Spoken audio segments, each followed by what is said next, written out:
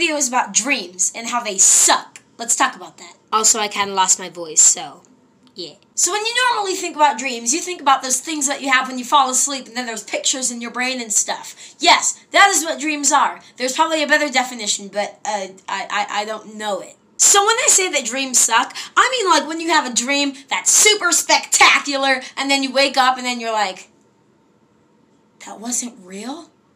And then you cry? That sucks. That's the worst feeling ever. I've done that a couple times. I had a dream like that the other day. I, I didn't cry though. I'm almost 13 years old. I'm gonna be in the eighth grade next year. I don't have time for crying. That that was a joke. Uh, you can you can cry if you want to. And also, I said I do have time to cry. I meant I don't because I'm awesome. Now, sometimes you can have a dream where you're like the best character in all television history. But then when you wake up, you're like, oh, I- I'm still me. Frick! And then other times you can have dreams where you're like an awesome superhero. But then you wake up and you'll just be like, huh, I'm still a scrawny 12 year old kid. Frick. The other day I had the dream where I still looked like this. I mean, I still look like it, but different, right? And then I woke up and I went to go look in the mirror and I still look the same.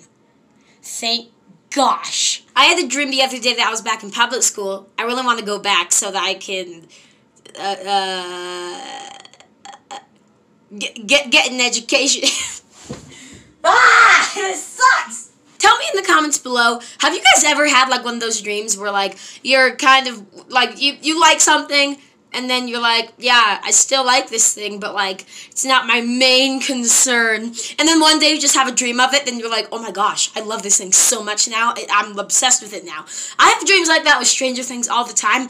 I have freaking four posters of Stranger Things on my wall. I like it, but it's not my main concern at this moment. And then sometimes I just have dreams and I'm like, okay, and then I just rewatch the whole series and it's like we- weird. Yeah. There's also those dreams where you're like way older. Well, not like way older. When you're like in like high school or something. That's kind of way older for me now because I'm only like 12. But then you like meet like the love of your life and you're like, oh my gosh, I want to stay here forever. And then once you wake up, you're like, frick! because it was all a dream. no! But yeah, why don't you guys tell me what you think of dreams in the comments below? Do you like them because you get to explore different things and stuff? Or do you hate them because when you wake up from exploring different things and stuff, you're like, oh, frick that, that was horrible. Oh, and if you guys are wondering what that dream was about where I woke up and then I was like, oh, it's not real. It was about me going back to